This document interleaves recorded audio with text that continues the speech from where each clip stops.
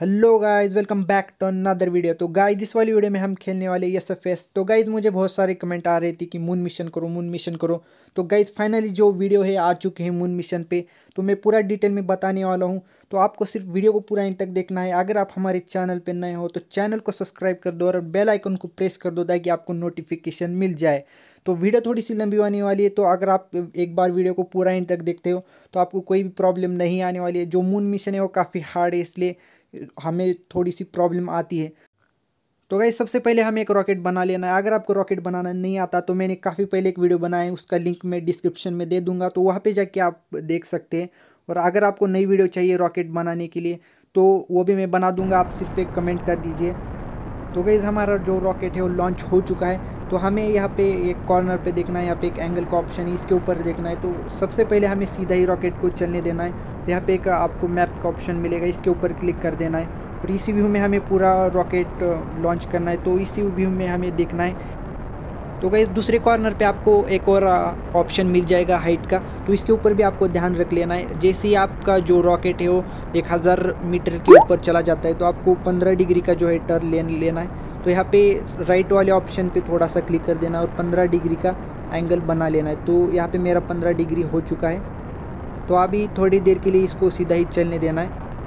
तो गाइज़ फ़िलहाल हमारे जो रॉकेट के तीन इंजन चालू है तो हमें बीच वाले इंजन पे ध्यान रख लेना है क्योंकि उस इंजन में थोड़ा सा फ्यूल कम होता है। तो उसको थोड़ा सा हमें फ्यूल बचा के रख लेना है। तो यहाँ पे जैसे ही मेरा थर्टी के नीचे आ जाता है फ्यूल में, बीच वाला इंजन जो है बंद कर दूँगा।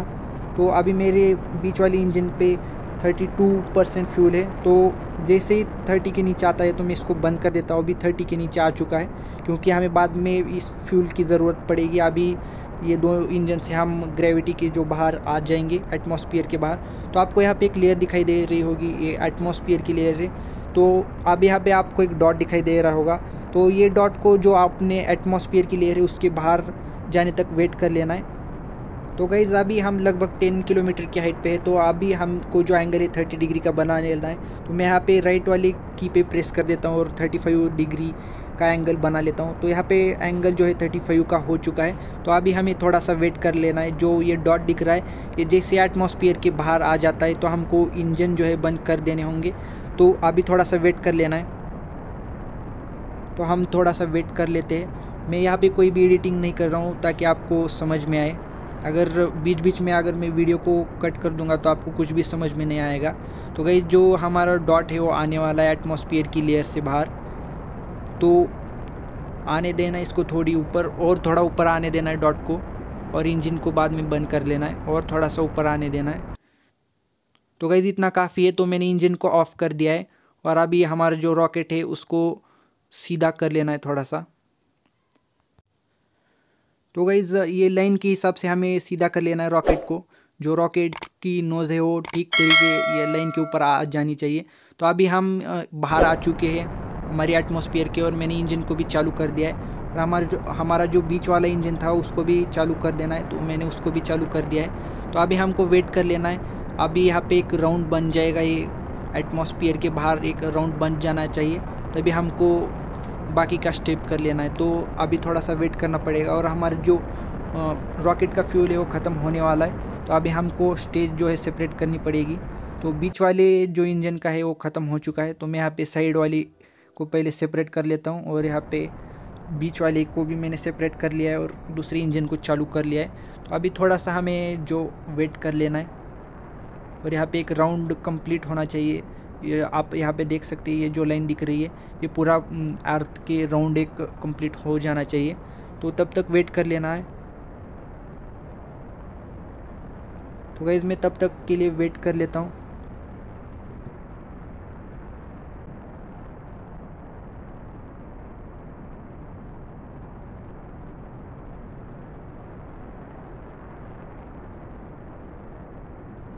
तो गैज़ ये जो लाइन है, वो पूरी एटमॉस्फेयर के बाहर आ जानी चाहिए। अगर अंदर होगा तो थोड़ी सी प्रॉब्लम होगी, इसलिए पूरी तरीके से इसको बाहर आने देना है।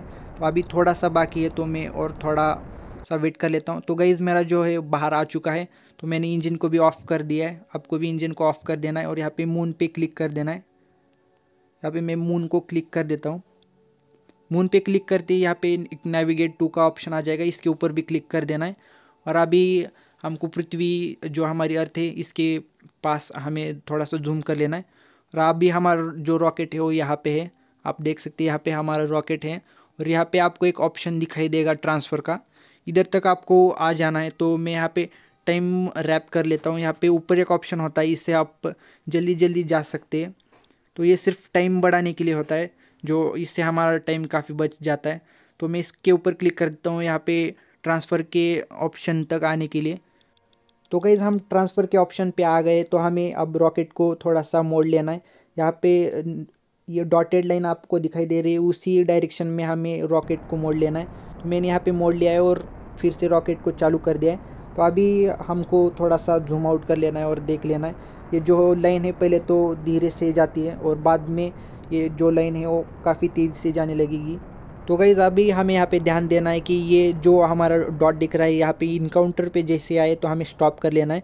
और ये एकदम से फास्ट होगा, इसलिए आपको थोड़ी सी जो इंजन की थ्रस्ट है वो कम कर लेनी है। और यहाँ पे मैंने इंजन को ऑफ़ कर दिया और यहाँ पे जूम हमको कर देना है मून के पास। तो गैज़ यहाँ पे आपको एक, यहाँ पे भी एक डॉट दिखाई देगा। तो इस डॉट को जो मून के थोड़ा सा पास लाना है तो जो स्पीड है वो काफ़ी कम कर दीजिए। अगर आप ज़्यादा रखेंगे तो ये डॉट मून से बाहर चला जाएगा। तो अभी हमें टाइम रैप कर लेना है, जिससे कि हम जल्दी जल्दी मून के ऑर्बिट में आ जाए। तो अभी आगे की प्रोसेस में आपको बता देता हूँ। तो कहीं जिसने भी अभी तक वीडियो को लाइक नहीं किया लाइक कर दो वीडियो को। तो अभी हमको रॉकेट को और आगे आने देना है। तो गई अभी मैं यहाँ पे टाइम रैप की जो स्पीड है, उसको कम कर देता हूँ। हमारा जो रॉकेट है, वो जो मून के पास डॉट दिख रहा है, उसके ऊपर आ जाना चाहिए। तो अभी मैं यहाँ पे थोड़ी सी स्पीड और बढ़ा देता हूँ टाइम रैप की। इसके ऊपर जैसे ही, ये डॉट के ऊपर जैसे हमारा रॉकेट आ जाएगा तो हमको इसको धीमा कर लेना है। तो अभी मैं यहाँ पे अपोजिट डायरेक्शन में जो है रॉकेट को फेर देता हूँ, और यहाँ पे मैंने फेयरिंग लगा दी थी तो मैं इसको ओपन कर देता हूँ। तो अभी थोड़ा सा और स्पीड बढ़ा देता हूँ, ताकि हम जल्दी से यहाँ पे पहुँच जाए, यहाँ पे डॉट के ऊपर। तो थोड़ा सा कम कर देता हूँ अभी, और बढ़ा देता हूँ। तो गई थोड़ा सा वेट कर लेना इसके ऊपर आने तक। तो अभी मैं इसको पूरा ही कम कर देता हूँ और रॉकेट को जो है सीधा अपोजिट कर लेता हूँ मैं। और यहाँ पे डॉट के ऊपर हम आ चुके हैं। तो गई अभी हमको इंजन को ऑन कर लेना है और इसको फुल परसेंट पे कर लेना है। तो अभी एक राउंड बन जाएगा मून के अराउंड जो अब हम मून के ऑर्बिट में आ चुके हैं। तो गई अभी हमारे जो ये इसके अंदर का फ्यूल ख़त्म हो गया है तो इसको भी हम सेपरेट कर लेते हैं। तो मैं यहाँ पे इसको भी सेपरेट कर लेता हूँ। तो गई अभी लैंडिंग लेग्स को ओपन नहीं करना है। मेरा गलती से क्लिक हो गया था। तो अभी फिर से इंजन को ऑन कर लेना है और यहाँ पे आपको डॉट दिखाई देगा। तो ये डॉट किसी भी डायरेक्शन या किसी भी पोजीशन से मून को टच कर सकता है। तो इसको टच होने देना है। तो यहाँ पे टच होने वाला है मेरा। और यहाँ पे एक ही लाइन बच जाएगी आप तो इस लाइन को सीधा होने तक वेट कर देना है। तो अभी मेरी जो लाइन है वो सीधा हो जाएगी। तो इसी पोजीशन में मैं रहने देता हूँ रॉकेट को। और ये जैसे ही सीधा हो जाएगी तो इंजन को ऑफ़ कर लेना है। तो गई जिसने अभी तक चैनल को सब्सक्राइब नहीं किया चैनल को सब्सक्राइब कर दो यार, और बेल आइकन को भी प्रेस कर दो ताकि आपको नोटिफिकेशन मिल जाए। तो यहाँ पे सीधा हो चुका है। तो अभी हमको रॉकेट को सीधा कर लेना है। तो गई थोड़ी सी टाइम की जो स्पीड है, वो बढ़ा देते हैं। तो हमें जैसे हम 50 किलोमीटर्स के हाइट पे आ जाएँगे मून से तो हमें फिर से एक बार इंजन को चालू कर देना और हमारे जो रॉकेट है उसको सीधा कर लेना है।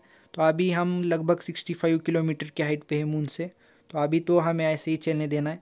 तो गई अभी हम 50 किलोमीटर्स के नीचे आ चुके हैं तो अभी हमको सीधा कर लेना है रॉकेट को और इंजन को ऑन कर लेना है। तो मैंने यहाँ पे इंजन को ऑन कर दिया है। तो गई हमारी जो स्पीड है वो बहुत ज़्यादा है, इसलिए अगर हम रॉकेट को ऑन कर देंगे तो हमारी जो स्पीड है वो कम हो जाएगी।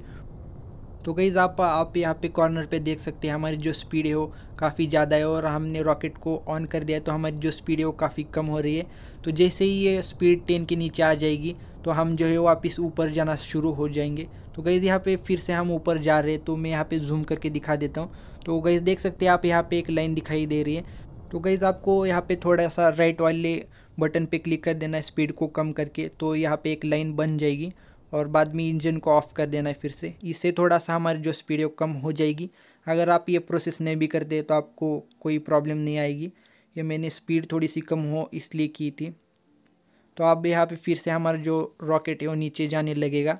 तो गई ये जो प्रोसेस की थी हमने ये और एक बार कर देनी है तो नीचे आ जाने पर। गई तो यहाँ पे मैंने फिर से इंजन को ऑन कर दिया है। लगभग हम सात हज़ार मीटर की ऊंचाई पे है मून से। तो मैंने इसको फिर से ऑन कर दिया है। तो आप यहाँ पे देख सकते हैं स्पीड जो है मेरी अभी 150 के अराउंड कुछ तो है। तो जैसे ही टेन के नीचे आ जाएगी तो ये फिर से हमारा जो रॉकेट है ऊपर जाने लगेगा। तो अब हम 30 किलोमीटर की स्पीड पे है। तो अब गई हम फिर से ऊपर जा रहे हैं। तो फिर से हमें वही कर लेना है।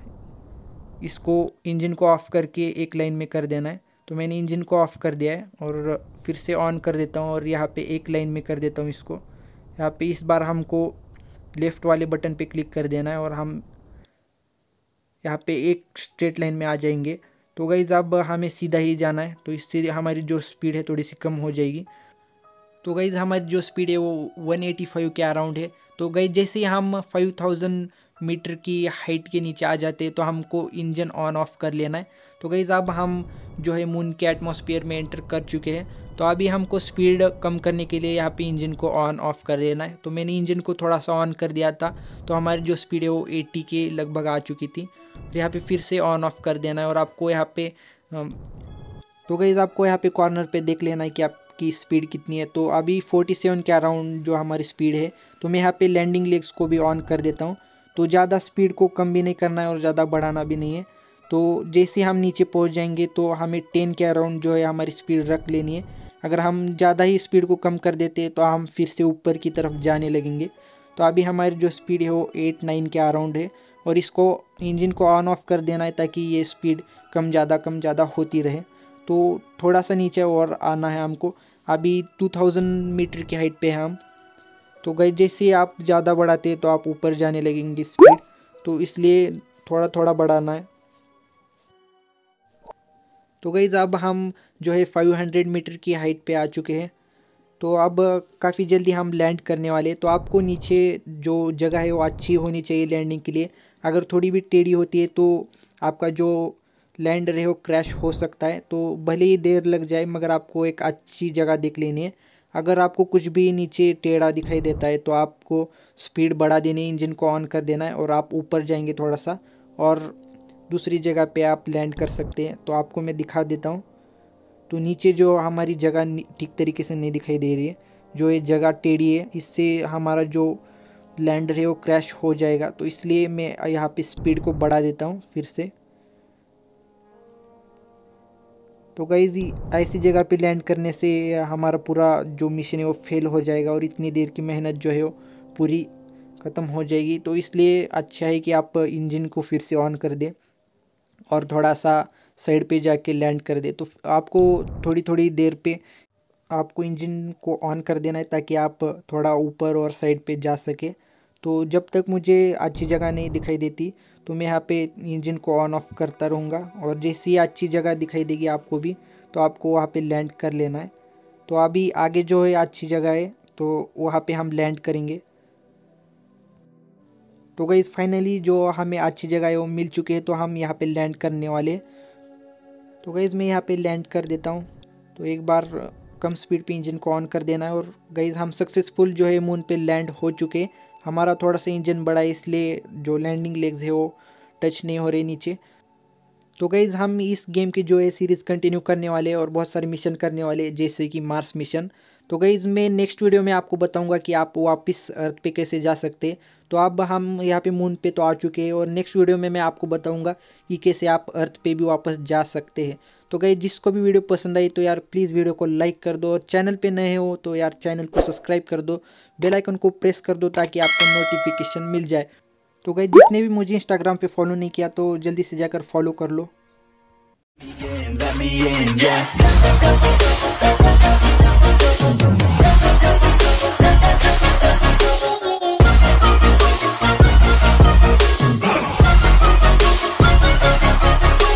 oh yeah, able, oh yeah, I'm stable.